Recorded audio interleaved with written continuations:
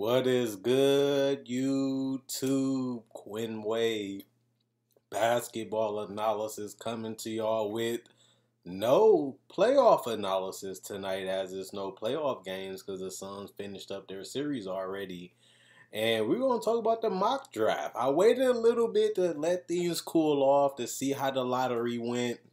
And I finally got some good opinions on how this draft might go.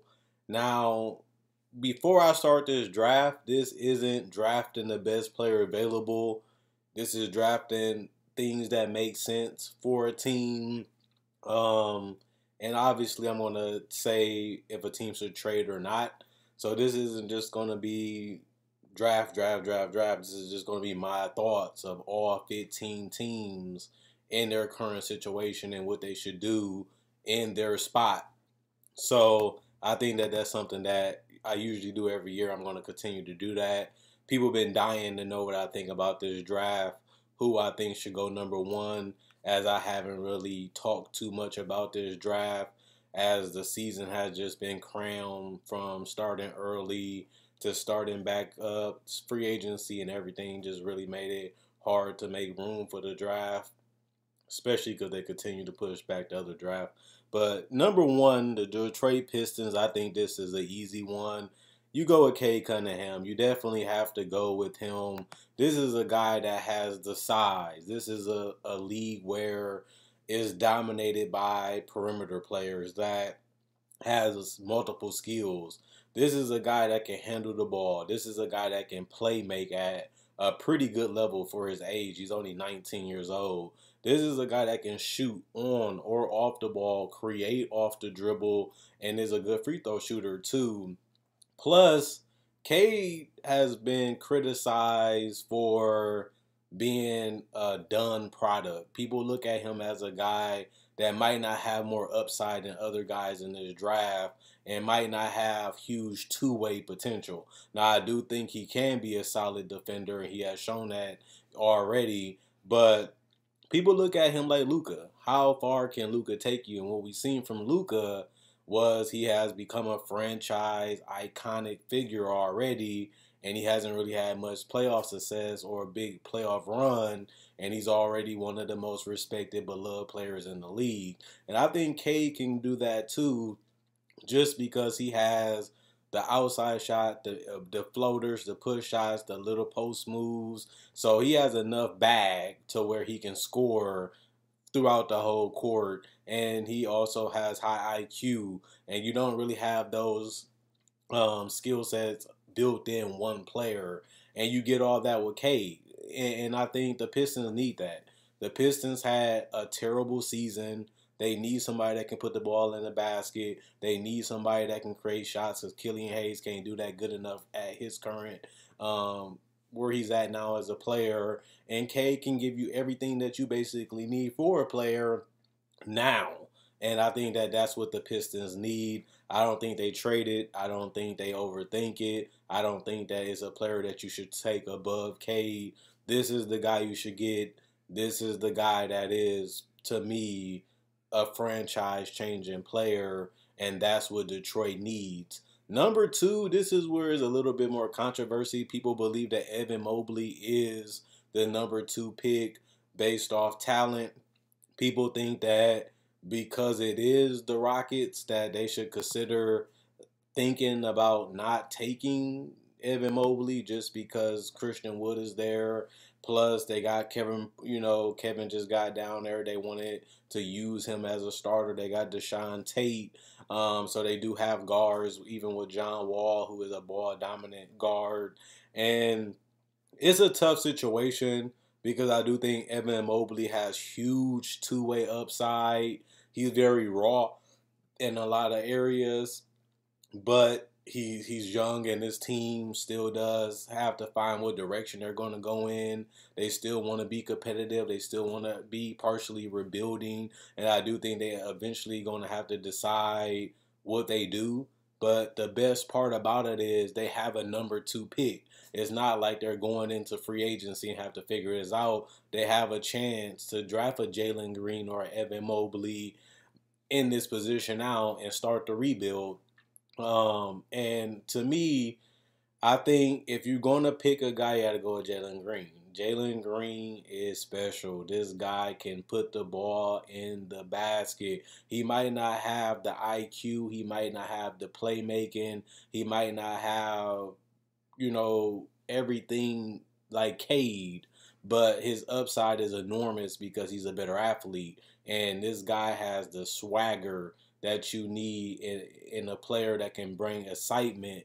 And on top of that, I think he is NBA ready. I feel like he proved that in the G League that he can bang, he can score, he can get to his spots, and he can play his game, and it will translate at the NBA level. The thing about it is just filling out the rest of his game. I think that he seemed like a fast learner. He seems like he's hungry, and that's why you just can't pass up on him. He would, to me, be the number one pick if it wasn't a guy that just does everything now and is way bigger and, and Cunningham, man. That just shows you how special Jalen Green is. That he went from being a top five pick to a lot of people see him as the number two pick. And a lot of that has to do with his growth and development, but also what he can bring to the table day one.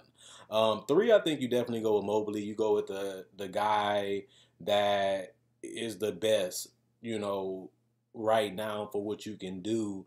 And it's really not no other players that in, in, in a Cleveland situation, or even when you look at the guys available that has more upside than Evan Mobley, and they don't really know what they're going to do with Jarrett Allen, how much they're going to pay him, how many years they're going to give him, but they still do have the option to play around with that a little bit more until they decide on the number they want to give them in the years, which is most likely going to be the max. Um, but Mobley is a guy that can be an outside guy, a guy that can rebound at a high level, play multiple positions, sometimes the four, sometimes the five, and give you that two way rim protection, plus being able to be a little switchy, which you need in a modern day big. The problem is, to me, offensively, he's far away from being a dominant impact player compared to the two guys that I put above him, and that's why I have him lower. Um, but when it comes to upside, he has the upside of being just as good as Jalen Green. The problem is he just don't have it today. And that's something that's going to be interesting because Cleveland has Collin Sexton and a lot of these guys that can already put the ball in the basket, that can already, you know, play as a perimeter player. They just need to shore up their inside and their defense. And I think Mobley, Okoro, will do that. And, you know, I think they do need to decide what they're going to do with their backcourt, who they're going to start, who they're going to, you know, build around long term. Because I don't think the Garland, Collin Sexton duo will work. And I've been saying that because they both bad defenders, plus they both are undersized, plus they're both not the greatest playmakers um, for their position. And you only can really have one when it comes to eventually having to pay all these guys, including the Mobley, including the Coro. You're going to be able to either have to get rid of one of them, or you're going to have to pay one significantly less. And that's the decision that they ultimately going to make um, years from now, but at least you can have another guy that actually makes sense, actually can help your defense even more, and also have an upside of being a 20 and 10 and, and a couple block steal guy, which is rare to find, but you have that. And Mobley uh, available at number three, which you don't really find a talent like him at three nowadays, but I would love for them to get him Toronto, I'm a little bit more torn than other people. I'm not a big fan of Jalen Suggs, and I'm not really a big fan of putting him with Fred VanVleet. I don't really like VanVleet as a two guard just because he's just so small and they've been having that problem with him and Lowry. And you are eventually going to have to move on for Kyle Lowry. And it does make sense to go get your guy now because Suggs has proven that he can be a solid defender. He's shown that he can be a decent offensive player. Um, and he is 19, so you hopefully your development, which they have shown that they have good um, ability to develop young players and, and, help them reach their potential and even make them better than what they are as they continue to work on these guys years from now.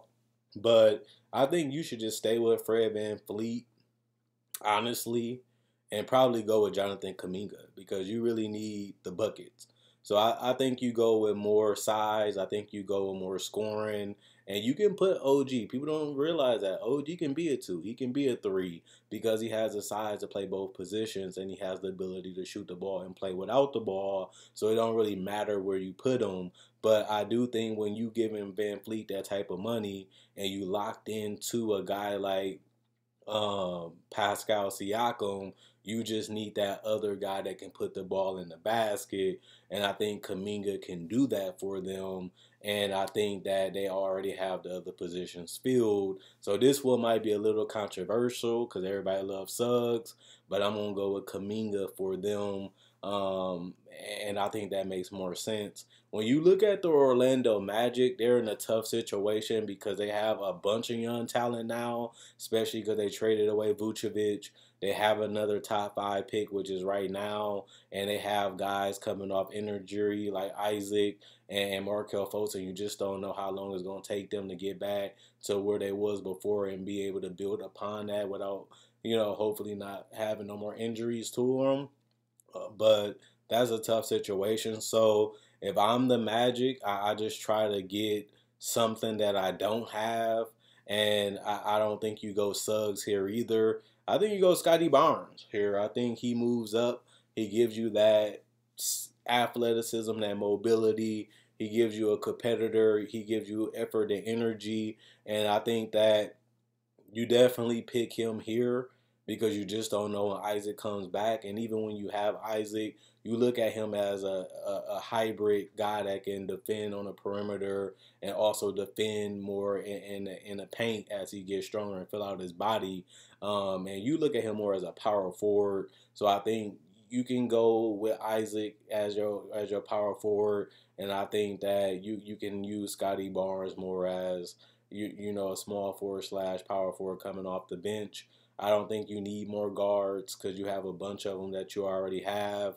Plus, we not even talking about guys like RJ Hampton and stuff like that that you're still trying to figure out what you're going to do with these guys also that you just brought in. So I think that they just get something different. I just think they give something that they don't have.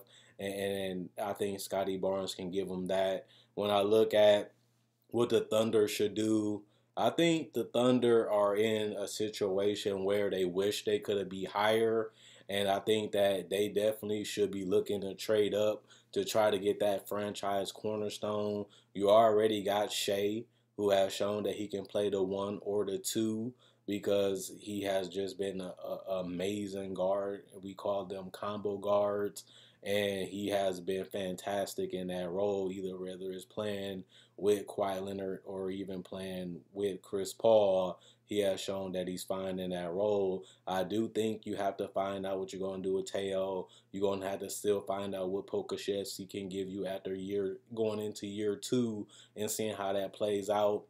You still do have Darius Bazley, but I think you just go with Suggs. You you just go with a guy that can defend. You go with a guy that can run your offense. You go with a guy that's not going to get in anybody's way. A guy that's not going to come in chucking up, trying to make it his team, and a guy that's just going to try to win you games. And I think that that's something that the Thunder don't have right now. And I think that that's something that Suggs can bring to the table. And I think that they definitely should pick him up. When I look at the Golden State Warriors, I think they trade. I don't really think that they should pick at all. They're in a championship window or a bust. When you look at the fact that the Warriors are spending so much money for a team that didn't even make the playoffs this year, that should be their last goal is bringing in another young player when Steph Curry's in his 30, Klay's in his 30, Draymond's in his 30. Draymond had a defensive caliber year for defensive player caliber year. Steph Curry had an MVP year,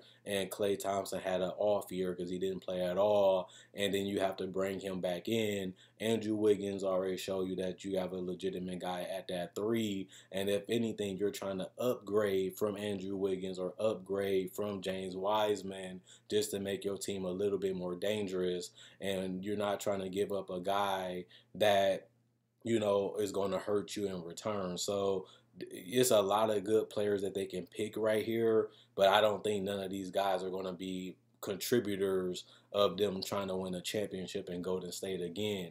That's what they're aiming for. That's what they're trying to do. And I don't think that drafting here makes any sense for them at seven. Now, if we were seeing one, two, three, four, or five, okay, but seven is just too low. You're not going to find a superstar here. And even if you could, that's two, three years from now. That's out of their championship window. I think Golden State definitely trades this pick and one of their one of their guys to try to upgrade at a certain position that Steph, Klay, or Draymond doesn't play and try to go all in to be a, a contender again in the Western Conference. So I don't see the Warriors taking this pick. Um, I see the Warriors definitely moving for a veteran.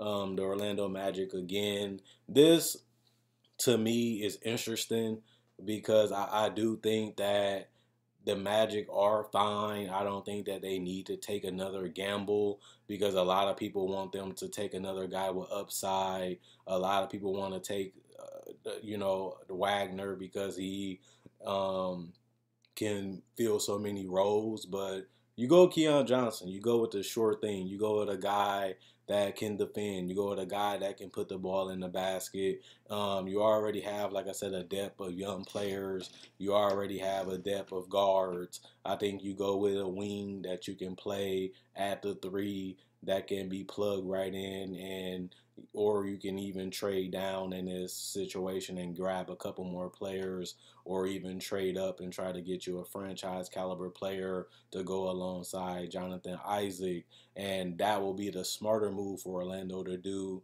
and to trade these two picks and try to move up and get something significant. The question for them is who's going to be willing to trade down and is they offer good enough to where they will give up a franchise cornerstone player for two players that might not be that. We've seen the Hawks do it with Trae Young. They're not complaining right now because they're in the Eastern Conference Finals, but that doesn't always work out because you still have to grow, you still have to develop the player, and they still have to pan out. And that's something that, you know, that's all dictated on the player and the team. So the Magic, to me, they go with Keon. If not, trade up to try to get into that top three to try to get you a franchise changing player. Sacramento Kings, I think that they need more scoring. I definitely think Buddy Hield and De'Aaron Fox and Harrison Barnes and those guys have been solid. They have been a respectable team, not terrible, but also not great. And I think that they really don't have no trade assets besides this pick. So I think that they might as well try to go ahead and take it and try to get a glue guy that can go in and, help them um, in multiple ways. So I think you go with Corey. I think Corey moves up into the tenth, I mean into the ninth spot and gives you a little bit more scoring. Um, they already added Tyrese Haliburton as a backup point guard. I think they should have a, a, legitimate backup wing, and I think Corey can bring that. He is one of those guys that could be busty because he either going to be able to pan out or he's just going to be a role player. But the Kings, that's what they need anyway, so I don't think it's going to be that much of a problem.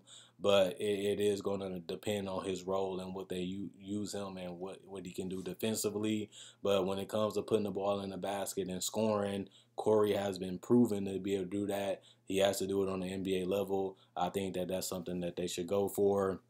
When I look at the Pelicans at 10, they in a tough situation too because they have Ingram locked up, they have Zion locked up, but they looked so bad um, a lot last year. Even though Zion was putting up numbers, he wasn't even named to an All NBA team, even though he was an All Star, which is a great um, accomplishment for him anyway. But I, I, I do see them, you know, being in a situation where they might not get the guy that they want they might not get a guy that's really going to be significant. But I think that they really have to decide what they're going to do with Lonzo Ball and if they want to keep him or if they want to move away from him, that will also depend on what they do with this pick and what direction they're going to try to go in as they also bring in a new coach. So put that in consideration. They're going to have a different play style, but they still have a lack of talent when it comes to being able to win now. And they do have a lot of young talent that they got to figure out who they want to keep and who they want to get rid of and how they want to build this roster around Zion and Ingram. And I think that that's their problem right now I think they go with Davion because they do need another defender. This team has been laughed about defensively, and I think Davion, even though he's dropping to me in my mock draft, will be a perfect steal at 10. There's always that one guy that drops in the draft, and I think Davion will be that guy that drops this year, and I think that the Pelicans won't complain because they can scoop him up. Um, number 11, we looking at the Charlotte Hornets.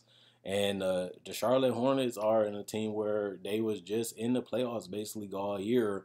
They were LaMelo Ball, Gordon Hayward injury away from locking up a playoff spot, but they ended up falling short ultimately and being a team that didn't make it. And they had a team that was very fun, uh, very entertaining, and they're going to be tough to be able to trade out of this because they're not really in a situation where they want to offload talent plus the talent they got they want to keep because it's hard to keep guys in Charlotte as teams usually go to bigger markets or the teams with more winning pedigree and the Hornets are trying to build that. And they got a lot of guys that seem like they love and enjoy playing with them and, and on the court with each other. So I think that they definitely go with the the consensus Jalen Johnson I think that this will give them something that they need if some guys get injured. Plus, he is a guy that can add a little bit more versatility to the offense.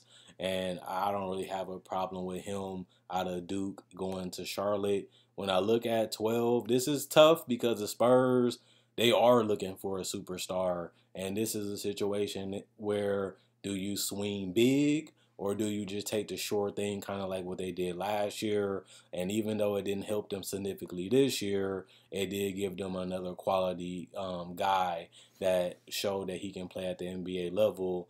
But I, I still think they should try to swing for the fences and try to go for somebody that can really be a significant difference maker and that's going to be the question for them is they going to take that gamble or do they want to do that? So i'm going to go with moses moody. I think moses moody should move up. I think that they should go for the wing. I think they really missing the wing if they lose demar DeRozan. And if they do let him go or he do decide to go in a different direction, they have a bunch of guards that all play the same position, but only one of them can have the ball and none of them are great three point shooters, which brings another problem. And then they don't really have guys that can literally put the ball in the basket enough. And I think Moody, Moody can bring that. Plus, he has, you know, a lot of these guys that can really, if he's a workhorse like he has shown, he will thrive in a place like San Antonio, and I think they can get the best out of his talent, and they can get the best out of him as a player, and they can also put him in a, a, real situation where he can, you know, prosper as a person, but also um, grow his game. So I think that that'll be a guy that moves up and literally falls in to that 12th spot, and I think the guy that everybody's saying who who dropped was Franz Wagner. I, I dropped him because you, don't really want to take a guy with that type of risk where these teams are really trying to play for the playoffs or bigger. So I really have him going 13 to uh, we had 13 to Indiana. Indiana needs a guy with upside. They need a guy that can back up um, Domantas Sabonis, and I think he'd be a good fit there. When I look at Golden State, I don't know if they still have this pick, but if they do decide to keep this particular one, which I doubt they have it, um, you definitely go with Usman because he is a guy that, to me, you can just plug in right away he can give you contributions on both ends of the court. But also gives you more rebounding, which they lack a little bit of. And I think that that's something that they can they can pick up if they do take the 14th pick. And with the 15th pick, I think the Wizards are in a tough situation to me because they have Russell Westbrook and Bradley Beal, and they're more in a win now mode too, um, with them both being 30 basically.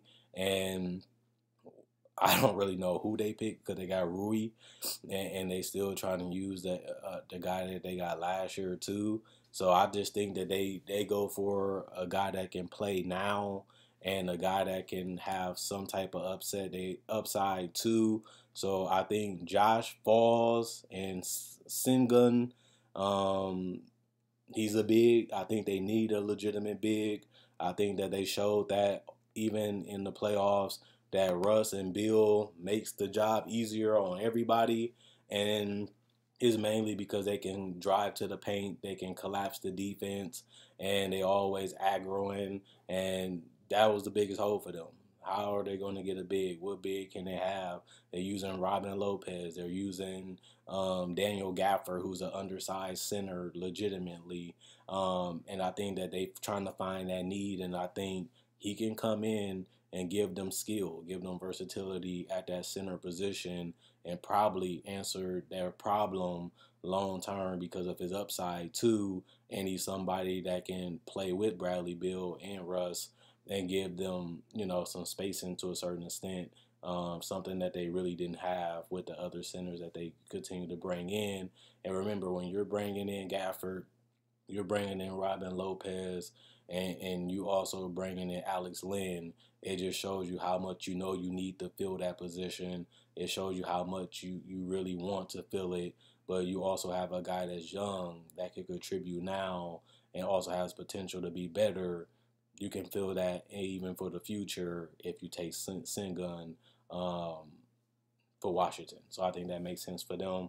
So I got some people dropping. I got some people rising. I got teams making trades. I got teams, you know, taking win now um, um, players because at the end of the day, when the draft is harder to get the, the lottery picks, even if you suck, you basically are in a situation where you have to win.